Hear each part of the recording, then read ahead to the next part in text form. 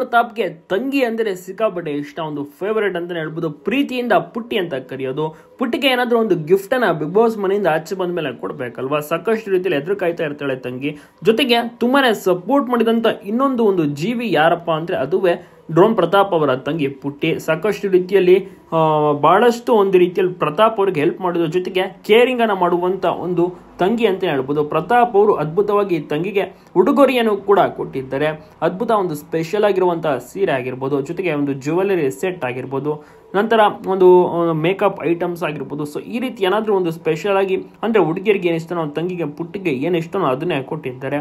ಬಹಳಷ್ಟು ರೀತಿಯಲ್ಲಿ ತಂಗಿನ ತುಂಬ ಚೆನ್ನಾಗಿ ನೋಡ್ಕೊಂಡಿದ್ದಾರೆ. ಜೊತೆಗೆ ಈಗ ಅವರ ಒಂದು ಫ್ಯಾಮಿಲಿಯಲ್ಲಿ ಪ್ರತಾಪ್ ಅವರಿಗೆ ಇರುವಂಥ ಆಸೆ ಏನಪ್ಪ ಅಂದ್ರೆ, ತಂಗಿ ಅಂದರೆ ಪುಟ್ಟಿ ಮದುವೆನ ತುಂಬಾ ಚೆನ್ನಾಗಿ ಒಳ್ಳೆ ಕಡೆ ಒಂದು ಸಂಬಂಧನ ನೋಡಿ ಮದುವೆ ಮಾಡಬೇಕು ಅಂತ ಅದರ ಒಂದು ನಿಟ್ಟಿನಲ್ಲಿ ಪ್ಲಾನಿಂಗ್ ಪ್ರಿಪರೇಷನ್ಸ್ ಅನ್ನು ಮಾಡ್ತಾ ಇದ್ದಾರೆ. ಒಂದು ಒಳ್ಳೆ ಹುಡುಗನನ್ನು ಕೂಡ ಹುಡುಕುತ್ತಿದ್ದಾರೆ ಡ್ರೋನ್ ಪ್ರತಾಪ್ ಈಗ ಸದ್ಯಕ್ಕೆ ಶೂಟಿಂಗ್ನಲ್ಲಿ ಕೂಡ ಬ್ಯುಸಿ ಆಗಿದ್ದು, ಜೊತೆಗೆ ಫ್ಯಾಮಿಲಿಯ ಜೊತೆ ಕೂಡ ಅದ್ಭುತವಾದಂತಹ ಸಮಯವನ್ನು ಕೂಡ ಕಳೀತಾ ಇದ್ದಾರೆ. ಫ್ಯಾಮಿಲಿ ಅಂದ್ರೆ ಪ್ರತಾಪ್ಗೆ ತುಂಬಾನೇ ಇಷ್ಟ. ಆದ್ರೆ ಒಂದು ಎರಡು ಮೂರು ವರ್ಷಗಳ ಕಾಲ ಫ್ಯಾಮಿಲಿಯಿಂದ ತುಂಬಾನೇ ದೂರ ಇದ್ರು.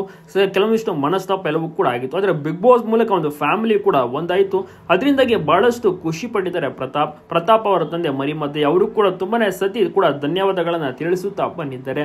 ನಿಮಗೂ ಕೂಡ ಪ್ರತಾಪ್ ಫ್ಯಾಮಿಲಿ ಇಷ್ಟನಾ ಪ್ರತಾಪ್ ನಿಜಕ್ಕೂ ಒಳ್ಳೆ ರೀತಿಯಲ್ಲಿ ಬದಲಾವಣೆಗಳು ಕೂಡ ಆಗಿದೆ. ಜೊತೆಗೆ ಸರಳತೆ ಆಗಿರ್ಬೋದು ಅವರ ಒಂದು ಮುಗ್ಧತೆ, ಅವರ ಒಂದು ಮಾತುಗಳು, ಎಲ್ಲವೂ ಕೂಡ ತುಂಬಾನೇ ಚೆನ್ನಾಗಿರುತ್ತೆ. ಹೀಗಾಗಿ ಜನರು ಇಷ್ಟಪಡಲು ಶುರು ಮಾಡಿದ್ದಾರೆ. ಮತ್ತೊಮ್ಮೆ ಸಪೋರ್ಟ್ ಅನ್ನು ಕೂಡ ಮಾಡಲು ಶುರು ಮಾಡಿದ್ದಾರೆ.